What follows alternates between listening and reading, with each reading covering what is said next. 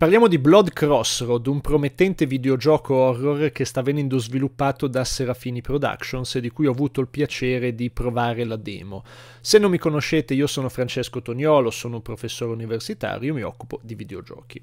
Dunque siamo qui per parlare di quello che si vede all'interno di questo primo assaggino di questo videogioco che è per il momento sicuramente promettente, quindi è ancora presto ovviamente per andare a capire in che direzione si andrà effettivamente con tutta una serie di tematiche, di questioni, però sicuramente è promettente, ci sono degli elementi di curiosità. Innanzitutto diciamo anche che eh, si presenta anche piuttosto bene a livello tecnico, quindi eh, sarebbe interessante anche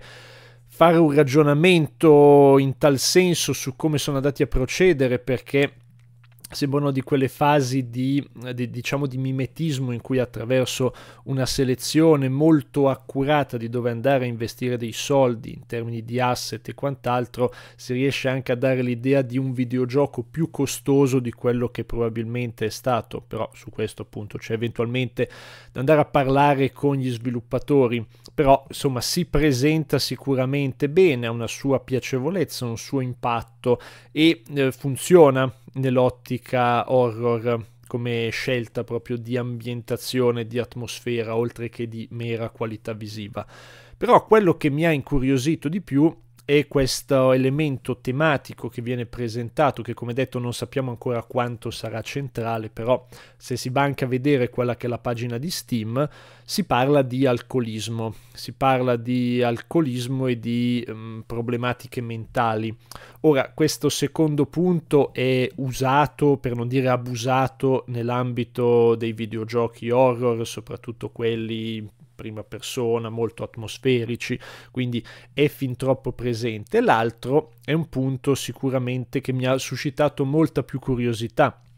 anche perché ogni tanto compare anche quello nei videogiochi, però non è un discorso, non è un tema così frequente. Peraltro abbiamo avuto in passato bellissimo su questo argomento di tutt'altro genere, eh, Papu e non so se lo conoscete, quel videogioco della PlayStation 3 autobiografico di questo sviluppatore che raccontava del suo rapporto con il padre alcolizzato. Quindi non siamo, eh, direi, in questo settore, però ci sono sicuramente degli elementi di potenziale sviluppo che vale la pena tenere d'occhio anche in relazione a quello poi che è il mostro che ci viene presentato, perché sostanzialmente dalla demo, senza fare grossi spoiler, ma quello che vediamo sono principalmente il personaggio principale, questo William, che lo vediamo lì al bar che sta bevendo e che ha tutta una serie di sogni allucinatori, forse causati dall'alcol stesso che sta assumendo. Vediamo delle figure di contorno, c'è il barista che però sta lì per i fatti suoi, c'è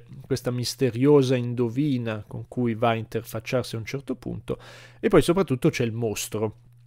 mostro che eh, a quanto mi sembra di capire, poi potrei sbagliare, ma ci sono tutta una serie di indizi che vanno in questa direzione, si vedono soprattutto i quadri dipinti nella casa dell'indovina, mi sembra di capire che sia un particolare yokai, quindi quei mostri, quelle creature del folklore giapponese, e parliamo in particolare della Futakuchi Onna, ovvero questa donna che ha una, una seconda bocca dietro la testa. Quindi eh, è interessante, dicevo, e probabilmente quella la direzione, quello lo spunto, perché va in effetti a legarsi a quello che immagino possa essere una delle tematiche di fondo che verranno sviluppate, in un senso o in un altro. Allora,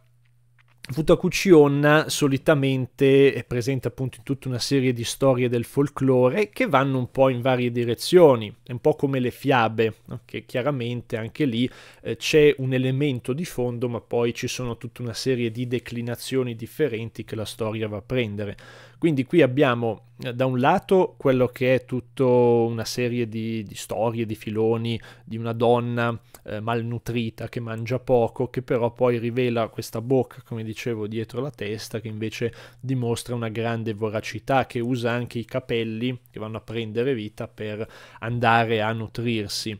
Eh, c'è anche poi un altro filone che riguarderebbe delle storie dove invece questa seconda bocca deriverebbe dal fatto che le è stata spaccata la testa, quindi solita storia, il marito con un colpo d'ascia vuole fare fuori la moglie, le lascia questa ferita che va poi invece a trasformarsi in questa sorta di bocca mostruosa. E quindi da un lato eh, si potrebbe andare in questa direzione che così da quello che ho visto finora non penso sia la strada, cioè il fatto che questo protagonista, William, abbia fatto qualcosa a una sua ex, a una moglie e poi c'è questo elemento di vendetta, quindi uno spirito vendicativo, oppure più probabilmente è, rappresenta un po' questa sorta di esternazione di un suo demone interiore legato all'eccesso, all'abuso, un abuso di alcol probabilmente, perché appunto questa Futakuchi Onna, se volessimo andare a inserirla in un discorso moralizzante, è proprio legata a questo fatto del consumo eccessivo in, eh, spesso di cibo, in questo caso sarebbe un consumo di alcolici, quindi probabilmente mi viene da pensare potrebbe esserci questo ponte, potrebbe esserci questo legame, per cui è una cosa anche qui che non rappresenta una novità assoluta, cioè il fatto che ci sia un mostro che ha una eh, caratteristica moralizzante, cioè il fatto che reale o immaginario che sia, è comunque una sorta di proiezione di un, um, di, di un, vizio, di un problema, di una colpa che il protagonista di turno ha e che quindi viene perseguitato da questa esternazione di quello che è un elemento interiore, appunto, come dicevo prima, una sorta di demone interiore che viene proiettato verso l'esterno e con, con cui si trova concretamente ad avere a che fare. Poi anche lì bisogna capire quanto, fino a che punto sia anche effettivamente reale questa presenza e quanto invece non si tratti di un'allucinazione, perché come detto vediamo che abbiamo questi, questi momenti in cui il protagonista è minacciato, poi lo vediamo risvegliarsi al bancone del bar con davanti un bicchiere di alcol e è lì che dice ho fatto un altro sogno, ho avuto un altro incubo. Però questo tutto sommato ci interessa meno perché a prescindere dalla realtà